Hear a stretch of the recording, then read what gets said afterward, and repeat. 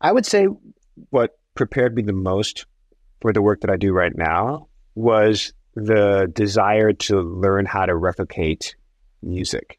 Let's say there was a song that I loved. Let's say, I don't know, Jump by Van Halen, right? That's a song that I grew up with. I knew everything about that song. Like I knew the keyboard part. I would pay attention to what the bass was doing. I knew what the drum fill was doing. So I had this picture in my head about what that song sounded like.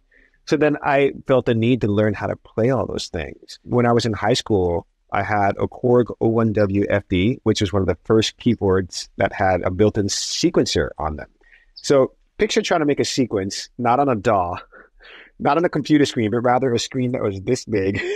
that you had to hit your cursor just to quantize something. You know, you had to hit a cursor 25,000 times. It, it, was, it was hard. It took, it was very time consuming, but I loved it. My God, how I loved it because here I was recreating Rush songs, Zeppelin songs, and on my keyboard, figuring out the bass part from the track, uh, you know, on my cassette player and transcribing it on my own and learning how to play it on the keyboard, like learning how a bass part feels under my fingers, learning how a drum part feels under my fingers and breaking it down.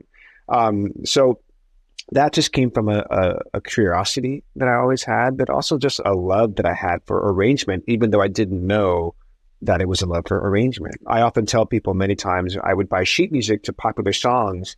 And if the sheet music didn't have the guitar solo written out, I would transcribe the guitar solo. And it wasn't always a transcription where I would write down the notes on staff paper. I would just like transcribe on my own and learn how to play it. Um, and one thing I would offer advice is that it's amazing that in this day and age, getting isolated stems is so easy to do. And seeing transcriptions already done for you is so easy.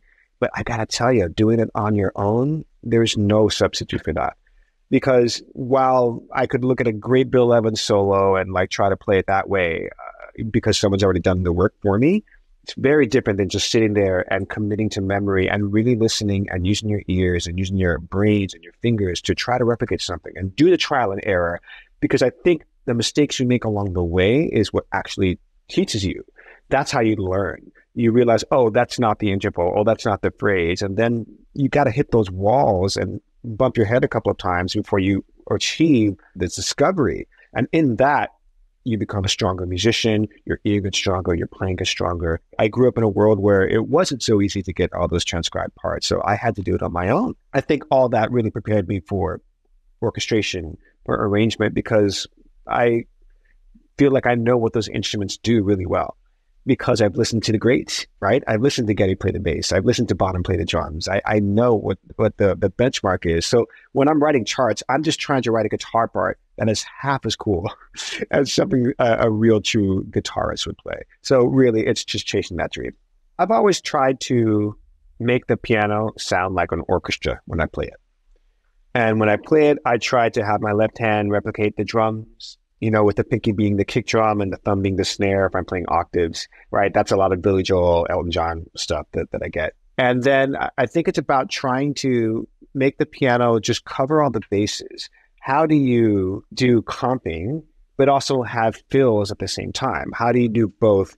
So I, I think if I'm trying to condense an arrangement for a piano, I think the main thing for me is how can the piano rhythmically get the vibe because there are some songs that rely so heavily on drums and what do you do like how do you you make that happen like let's just say you have four bars of drums let's say my hero by foo fighters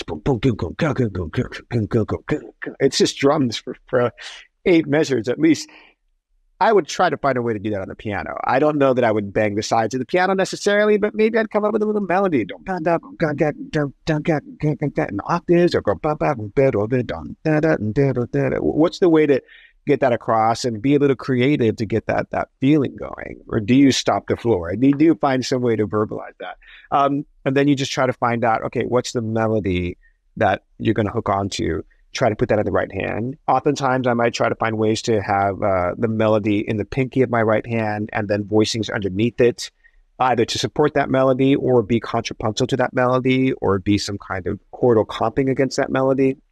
And sometimes you have to just ignore certain parts because you only have 10 fingers and you have to make decisions about what is the thing that's really going to give the best picture of the vibe of the song, the sound of the song. That just comes from years of me wanting to cover it all and, and being so enamored with what the guitar player does in a band, what the bass player does in a band. So it's not enough for me to just do just the keyboard part. I find that boring. I'd rather be a one man band because I love all those instruments. So I'm basically trying to condense all these instruments that I love into 88 keys. My keyboard setup at home is pretty minimal. I've got an 88 key weighted keyboard uh, that slides under my desk. I've got an iMac uh, that's pretty souped up, I think. And I've got two Genelec speakers next to me. And I've got my Apollo interface to my left. That's basically my rig. I, I go through all of that stuff to, to give me what I need. For me, the tech aspect is so ingrained into what I do creatively I love that the tech aspect for me is extensions of things that I did the manual way when I was younger. For example, I used to transcribe with a paper and pencil and stack paper and write it all out. I uh, used to make tracks on my four track cassette player where I had to play the drum part live on a keyboard and then play the bass part live and do several takes.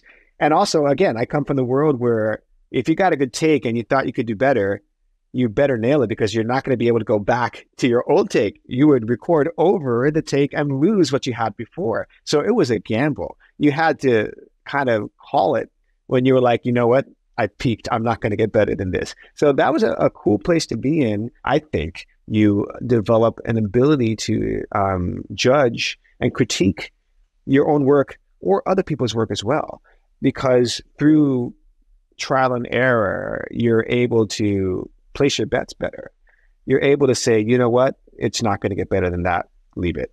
You're able to know when you kind of like passed a hump and you've got into the law of diminishing returns. Uh, and that's when you know you have to leave it.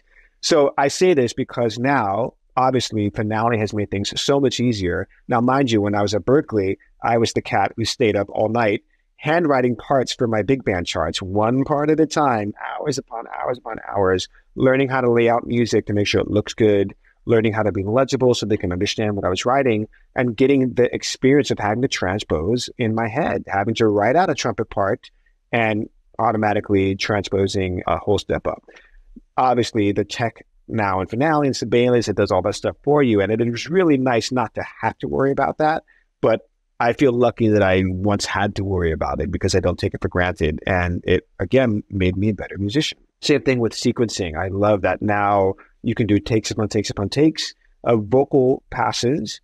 Uh, but then when you're in the studio getting those performances, you know when to push, you know when to let it go, you know when to give that actor or that performer that one extra note that might make that take better or you know when hey it's actually not improving we've, we've got to let it go and then you move on. I do rely on the tech aspect because i feel like that's what makes my work speedier cleaner better more versatile. But at the same time I, i'm grateful that i learned the hard way growing up.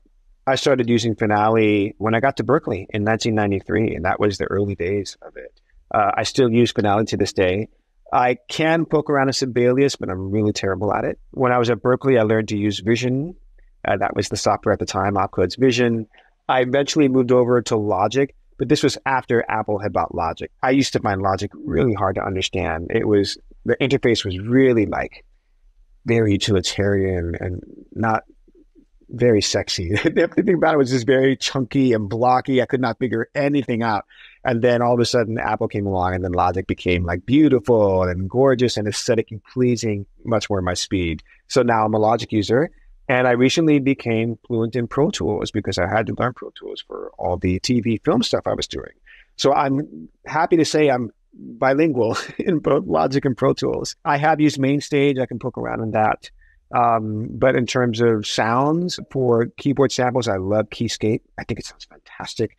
I use Kontakt a lot. Uh, Spitfire is my go-to for orchestra samples, for uh, symphonic sounds. I really love that. Scarbee makes great bass sounds, so I love that. Real guitars, fantastic, great samples there. And I have a, a Universal Audio for my uh, interface.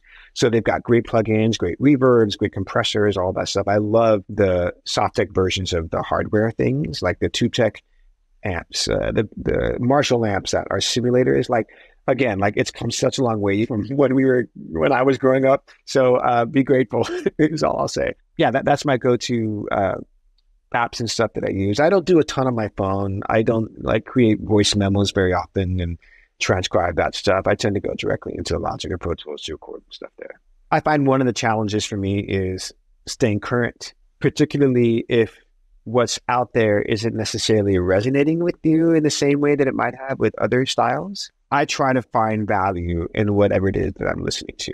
I got this great advice from my friend. Like he would say, man, if I'm in the car and there's a song that I don't like on the radio, I don't switch stations. I actually turn it up. I actually like try to challenge myself to figure out, okay, what is it about this that I'm missing? What is it about this that people are, are really digging that it, it, I, that I'm not digging? So I feel like there's some merit to any piece of art out there. There's something to be found. And I, I, try to find what that is and I try to make myself love it because as an arranger and orchestrator, you have to love the song you're working on. If you don't love it, I don't believe you're going to be able to necessarily come up with a really exciting chart for it. So because of that, you have to find ways to figure out, okay, what is it about this that that works for me? What is my in? What is what's going to connect me to this piece of music that is going to allow me to do work that I could be proud of? I try to just check out music. I, I consciously in the morning, if I don't know what I want to listen to, I'll go to Apple Music and find out what the hits of the day are. I'll listen to it. I'll follow along with lyrics. I'll look at who the writers are. I'll pay attention to the production. I'll really just try to get in there and take it apart so I can figure out how to stay hip, how to stay with the curve so that when time comes and people ask me to arrange something with a style that I might not be as in love with, I'm at least familiar with it. And that will allow me to be a part of it. Lately, what's bringing me joy in my life is actually taking time to relax. And I know that sounds like such a crazy thing because we're so programmed to work, work, work and to produce and, and to, to make things. But I am learning how important it is to recharge. I'm learning how important it is to have downtime, uh, to have a social life, to spend time with my wife, to pet my cat, to be out in nature. Unplugging is, is one thing that has been bringing me joy lately, as is cooking, you know, finding hobbies outside of music. But in terms of music, lately, uh, I've been finding in joy in discovering music of my youth that I didn't listen to. For example, just this morning, I was listening to the Pixies' Surfer Rosa. I knew Doolittle a little bit, but I'm listening to this and I'm thinking to myself, man, I wish I had heard this album when I was 13 when it came out. It might have changed the trajectory of my life, perhaps a little bit. For me, that's a little bit of nostalgia, a little bit of just trying to get in touch with something that I feel like I missed and just continuing to try to learn, whether it's listening, like I said, to podcasts about the making of an album that I love, to listening to Mahler, uh, you know, because I've been driving more often. Sometimes my drives will be an hour and a half to two hours. So for a little while there, I was making myself listen to Mahler symphonies in their entirety because I never really went down that path. So that came out of meeting with certain musicians who I know respect Mahler very highly and that made me realize, hey, there's something that I'm uh, not on. There's a, a, wavelength that I need to get on. So I just want to educate myself in that way. So really, it's about trying to amass more information in the hopes of making me more well-rounded, to give me more ideas, to see things from a different angle, which will only serve me in the work that I do. What is it that makes you you? What is it that makes you stand out and unique? Uh, I, I find that a hard thing to answer. All I know is uh, these are the qualities about myself that I'm proud of. I'm proud that I love music so much. I am grateful that I am a positive thinking person, that I find myself to be a glass half full type of cat. And because of that, I find the joy in music. For me, it's called playing music, and I really try to lean into the play part of it. Because of that, I feel like there's also a um, space that I leave for other people because I do love when you get to commune with others about some song that you love, some artist that you love, some tune that you can jam on, that there's connection in that. Because when music is totally solitary, when you're in your practice room shedding, that's not the fun part for me. The fun part is performing. The fun part is playing with others and getting feedback in real time and talking about something that you love and, and discussing that piece of art together. Because of that, I feel like I treat other musicians with respect. I feel like I try to lift other musicians or up around me, particularly if something is not coming out the way I hear it in my head. I try to make it work. I try to be like, okay, try this, try that. What about this angle? What about that angle? Or what about that rhythm? I try to um, gently encourage others to be their best selves as opposed to turning my back on them, as opposed to giving up. Now, there are times, obviously, you have to make that tough call because try as you might, something might happen and something might not click. And you can tell that it's not going to be the smoothest of rides. Those are difficult moments. And I try to find the humanity of the people on the other side during those moments. I try to be kind, I try to be respectful, but I also try to keep the project in mind. Um, uh, I try to do what's best for the piece, even at the cost of sleepless nights, even at the cost of, of potentially uh, breaking hearts from time to time. I think the best advice I got was nonverbal advice. There were times at Berklee where I auditioned for certain ensembles or classes that I didn't get into. And that humbled me because I grew up being a little bit of a, a big fish in a small pond. And I thought stuff was just always going to come to me because things had always felt easy to me. And it's not that I didn't work because I worked my butt off. But once I realized, hey, I'm really not at that level, that made me rethink what my goals were. That made me realize, hey, do I really want this? Like, how much do I want to shed this style of music? Or do I want to go there or do I want to pivot? Do I want to find what resonates for me? So when I did get that class, I thought to myself, oh, wait, I, am not that hot that I thought I was. I, uh, it, it, woke me up and I needed that. It needed uh, to just be brought down from this cloud that I was up on. So I'm thankful that I didn't get in. And I didn't deserve to be in because there were other writers who were better than I was. And there were people that I didn't know about. And that also humbled me as well because I realized, hey, it's there's a lot of people out there in this biz that you don't know about at all who are way stronger than you at this skill. And you have to respect that.